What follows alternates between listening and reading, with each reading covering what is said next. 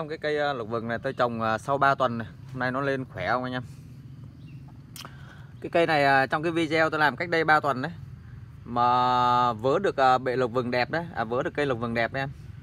Anh em. Ơi mầm nó lên. Này. kinh khủng luôn. Đây này, anh em này. Dự đoán dự đoán tôi, dự đoán chính xác luôn này. Tôi để lại cái rễ cọc này bởi vì tôi không cắt này cho nó nhô lên mặt đất là vì là nó có một cái nó sẽ lên một cái mầm ở đây này. thì nó sẽ nuôi được cái rễ này luôn anh em ạ. Cái rễ này không cần phải xuống đất nó vẫn nuôi được này. Đấy. Giờ nó lên một cái mầm ở đuôi này. Và toàn thân lại mầm hết nha anh em. Đấy, sau này mình mới ờ, một thời gian cho cây này nó khỏe bắt đầu mình mới lựa mầm mình ờ, mình cắt lại.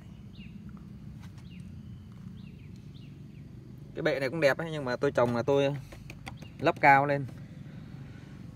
Một thời gian nữa thì khi nào nó đẹp ấy thì ờ, mình có thể dỡ tôn ra và xịt ừ, xịt nước vào để nó nó sẽ lộ hết cái bộ rễ nó ra. Mầm lên khỏe quá anh ạ.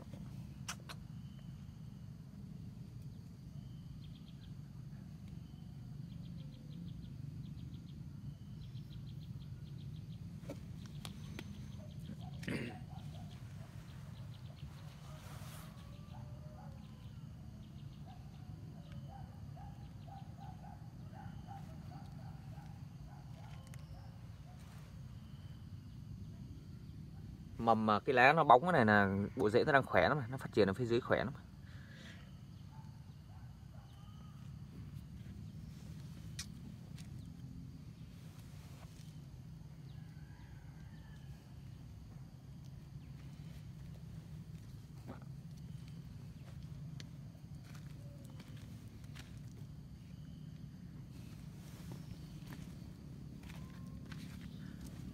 Bệ sung này thì mới cắt giật lại hôm nay nó bung hết rồi, bung lụa.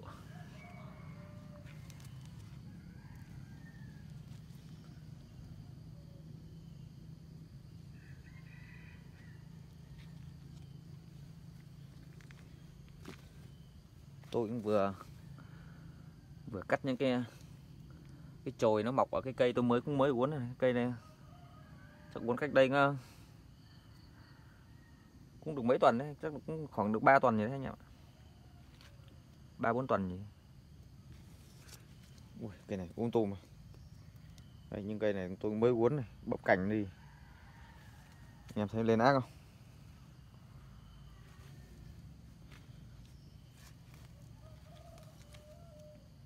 Đấy. một thời gian thì nó bung ra thế này thì mình thao hồ mình nửa cành để mình để mình tạo. Chi răm rất nhiều.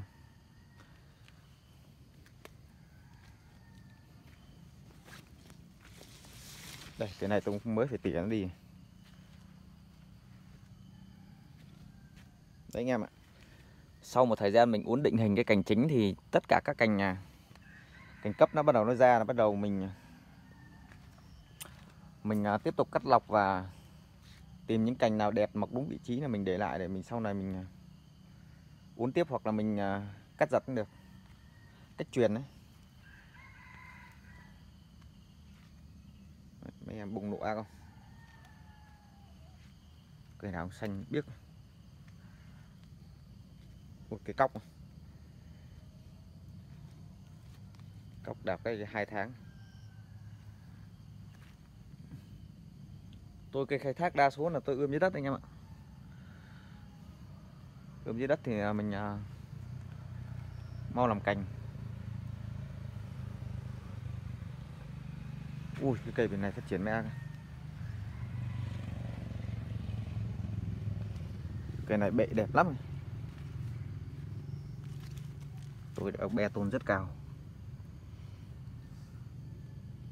Khoảng 2 đến 3 năm thì mình dỡ tôn ra thì đẹp lắm. Ừ, lục vừng bữa nay phát triển ác mấy cây lục vừng. này.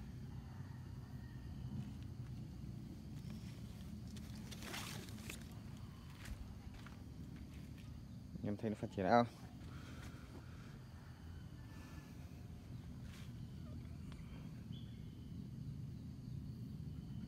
Cây này chắc phải cắt ở đây đi.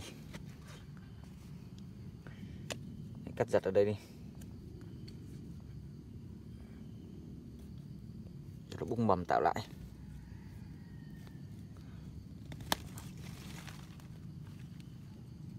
To quá.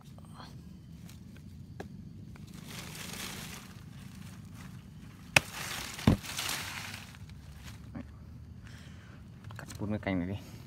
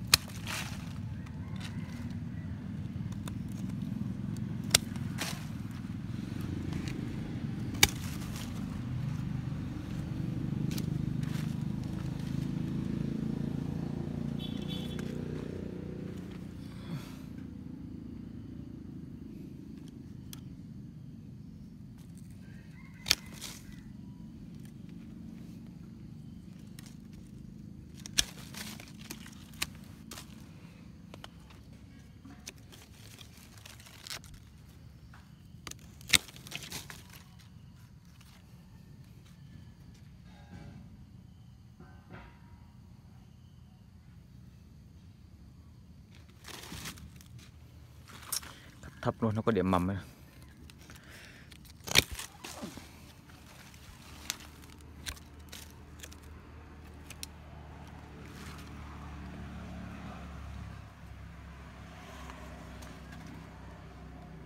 cây này thì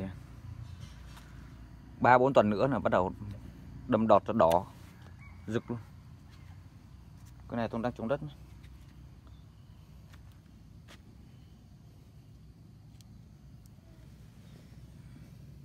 Rễ của nó nó bò hết ra ngoài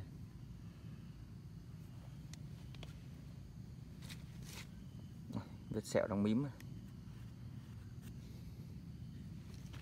rễ trồng mím sẹo hết này anh em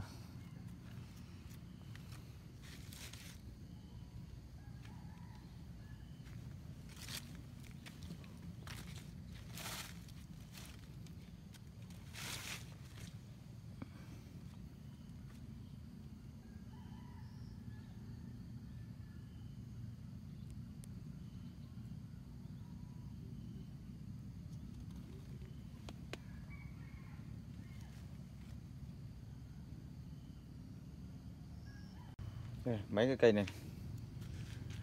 Mấy cây à, bệ bệ nó to mấy vết cắt nó lớn này. Cành này tôi không dám động chạm mà luôn. Uốn không dám uốn bằng dây kẽm. Mình chỉ lấy uh, dây với cây mình uh, líu nó xuống thôi. Những cây này sau này phải đục đi anh em này. Cây này bệ đẹp lắm. Cái này mà giả tôn dài thôi. Hết đường luôn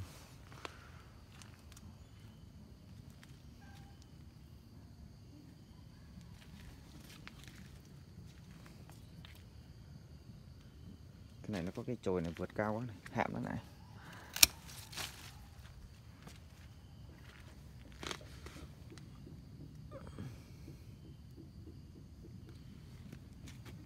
Những vết cắt rễ của nó này.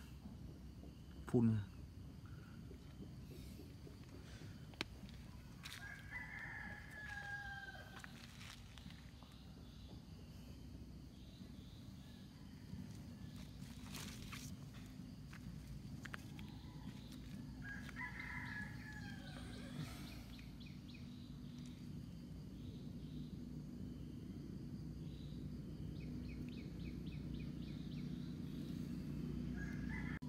cây này um tùm.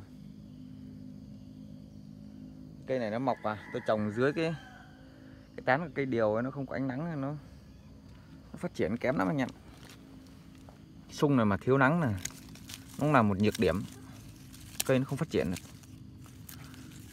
Cây này chắc à, vài bữa nữa chắc tôi uốn uốn cho cây này. Và uốn định hình cho nó cơ bản.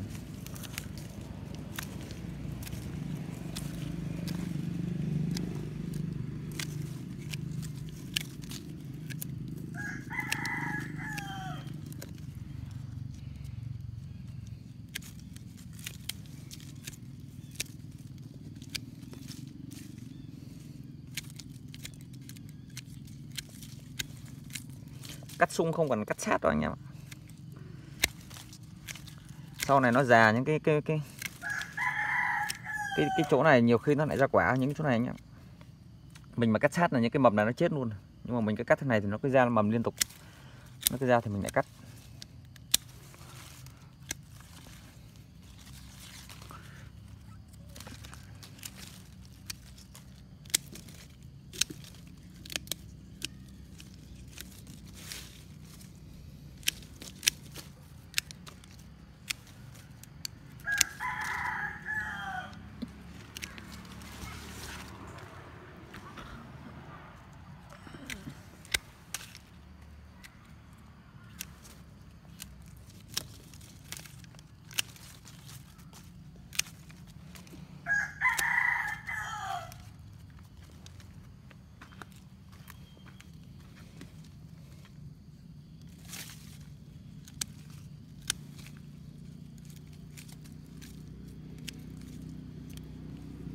Cái này mới mấy tháng ấy.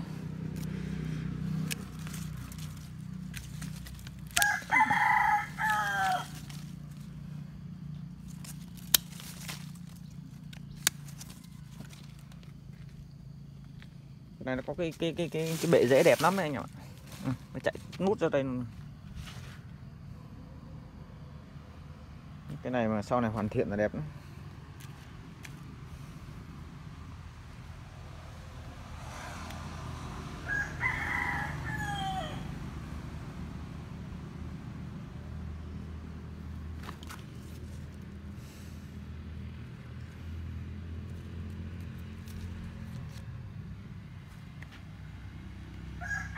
Đồ, nó có cái chồi mọc đây thì đẹp quá. Mọc đây đây là sai vị trí rồi nha Mọc đây thì đẹp.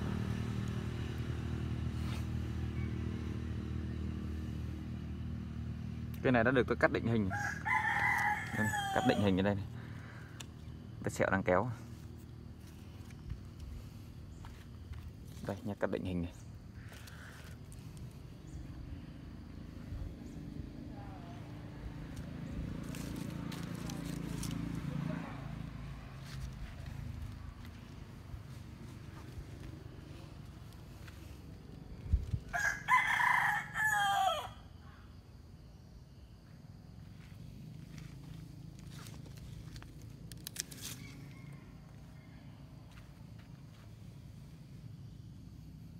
Mấy cái phôi lục vừng. Um tùm tùm luôn.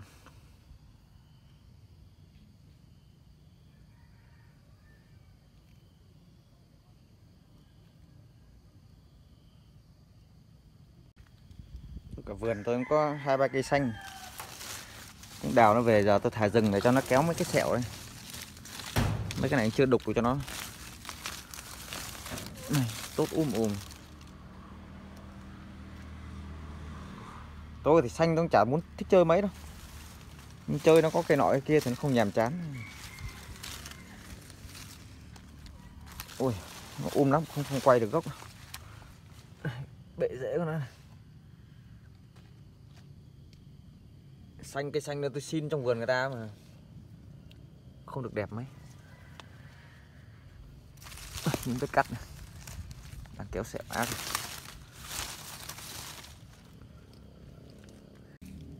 Đây, cái gốc sung này tôi đang uốn định hình. Mới, mới uốn cho nó được một thời gian. Giờ cắt mấy cái cành này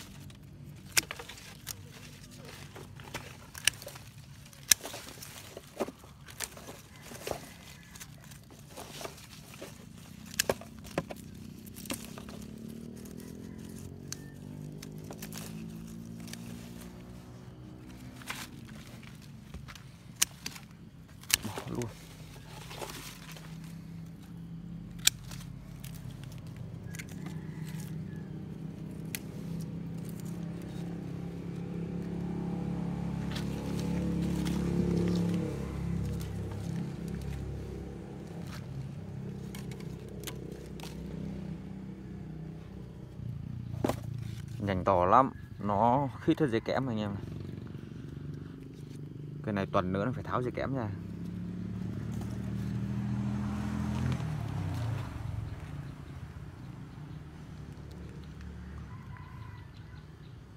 Trong khi chơi những cây to thì tôi vẫn có những cái cây nhỏ như này anh em này. Mình tạo à, mình tạo những cái nhỏ này thỉnh thoảng để ngắm chơi nó vui, rất vui anh em ạ. Cây này đang phát triển rất khỏe. Đưa những cái cành này xuống đây cái cành này thì bấm đi này nó, nó vượt quá này.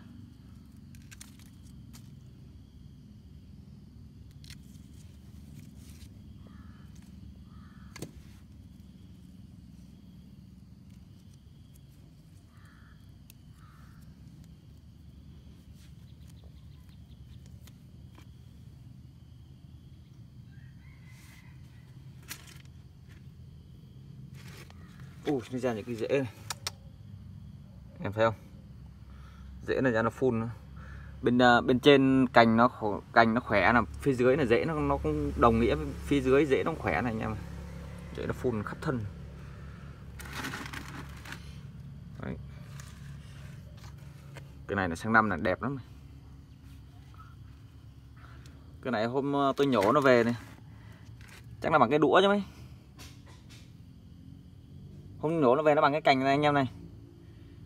Tôi mới trồng nó lên cái cái cái lũa của cái cây gỗ đây mà giờ nó nó to thế này rồi. Bằng ngón tay rồi. To bằng gấp 3 lần hôm ờ, mới nhổ về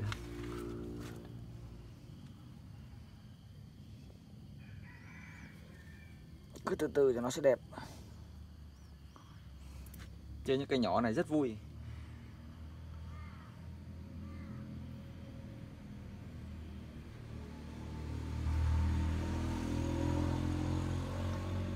Nhỏ nhỏ như này thôi nhưng mà có anh bạn vào trả tôi 400 nghìn nó tôi chưa bán anh em ạ. Không phải dễ giỡn đâu nhỏ nhưng mà mình chơi nó nghệ thuật thì giá trị nó vẫn khác.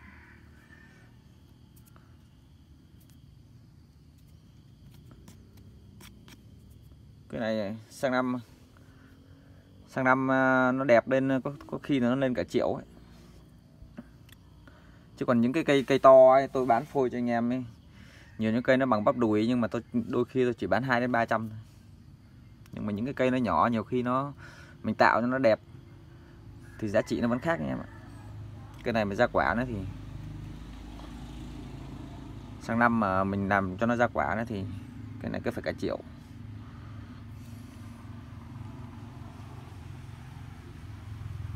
Tạm biệt anh em nhé